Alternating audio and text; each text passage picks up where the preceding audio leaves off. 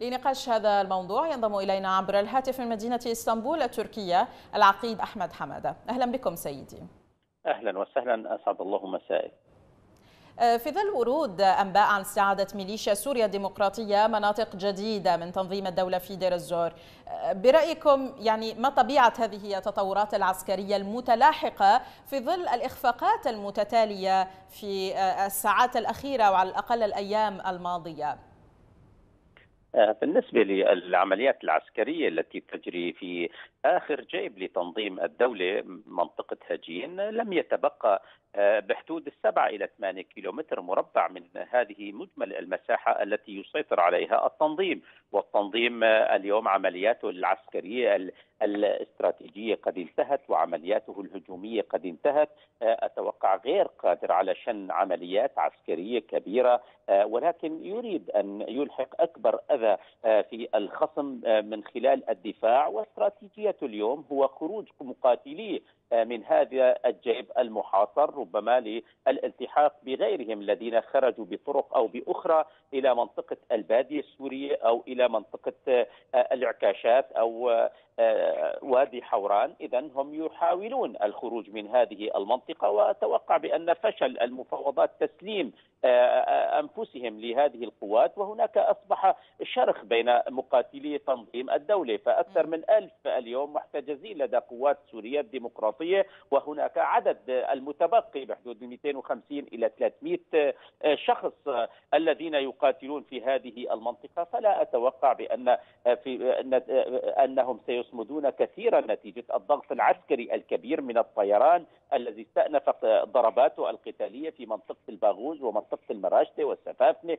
وكل محيط هذه المنطقة بالإضافة إلى استئناف الهجوم البري والتي يعني تشكل قوات سوريا الديمقراطية القوات الرئيسية فيه بالإضافة إلى مساعدة من الفرنسيين ومن الولايات المتحدة في هذه المنطقة. اذا سيادة العقيد إذا أردنا أن نضع هذا هذه التطورات في سياقها الزمني كيف بإمكاننا تفسير إعلان ميليشيا سوريا الديمقراطية في هذا الوقت بالذات عن استعادتها لآخر جيوب تنظيم الدولة خاصة في ظل التجاذبات في القرار الأمريكي بالانسحاب من سوريا والصراع على الجهة التي ستملأ الفراغ الأمريكي.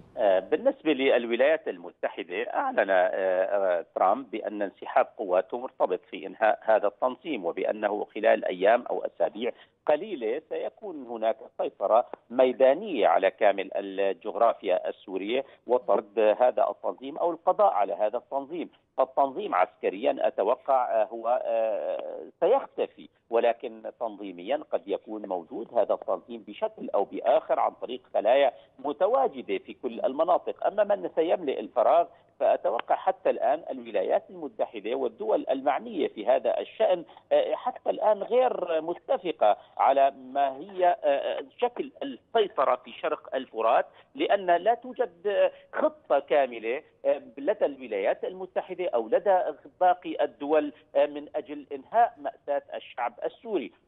قرارات دولية يجب أن تطبق. هناك انتقال سياسي هناك حتى اليوم الروس تركوا كل شيء ويلهثون وراء سيطرة قوات النظام على كامل الجغرافيا السورية واختصروا كل المشهد السوري بلجنة دستورية متعثرة حتى الآن. إذا الروس هم يريدون كسب الوقت وجاء الانسحاب الأمريكي ليعطي فرصة ذهبية أو هدية مجانية للإيرانيين وللروس من أجل بسط سيطرتهم على باقي المناطق أما بالنسبة للاتفاق ما بين الأمريكان والأتراك من أجل المنطقة الآمنة حتى الآن لا توجد رؤية واضحة نعم. لدى سنتحدث عن هذا الجدل الحاصل بين أمريكا وتركيا لكن قبل ذلك لماذا سنوات طويلة لمحاربة تنظيم الدولة والإعلان عن السيطرة على كل جيوبه في ظرف أسبوع وفقا لتصريحات تصريحات الرئيس الأمريكي دونالد ترامب بالنسبة للمعارك التي انطلقت